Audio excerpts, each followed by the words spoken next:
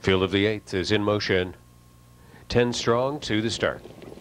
They're off and pacing. A great start for our London Pride. Sent right on through along the inside cash register. Tucks right in there. On the inside is I've Got Life taking third. Scoliala looks to get in line from fourth. Kelly's Law relegated to fifth. There's Low Blitz way outside from sixth. Ahead of About to Lose Control and Rock Music. Moving ninth is Fellowship Divine and Cami Best tenth and last away. Our London Pride. Cash register is in for the two-hole position. I've Got Life is there in third. Low Blitz is parked on the outside side alone. The opening split was 28 and 3 fifths. Around the turn to the backstretch, our London Pride cash register taking the trip. Moving up on the outside is Low Blitz, getting the worst of it in the first half here. And I've Got Life sat fourth on the inside up to 3 eighths completion. Scoliella is out on cover, but it may be stalled and parked out cover from fifth position. Two more lengths to Kelly's Law, following up in sixth, about to lose control. Seventh at the outside, Rock Music is spotted. Fourth over from eighth. Three more lengths to Fellowship Divine and Cami Best. 50 57 and 3 the half.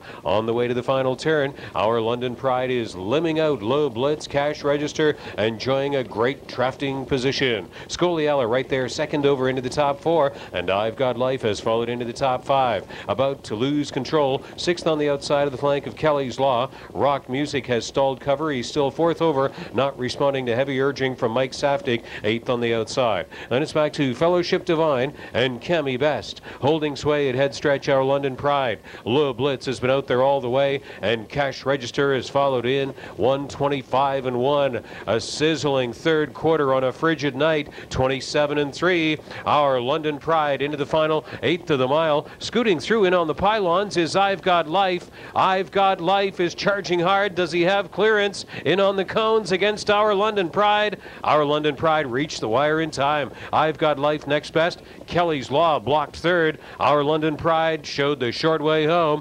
153 and 4.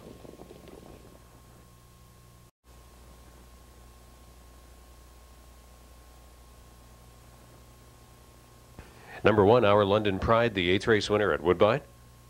In the pocket gelding, owned by Gaetan Bono, Paul Henderson, Steve Calhoun, and Terry Barnett.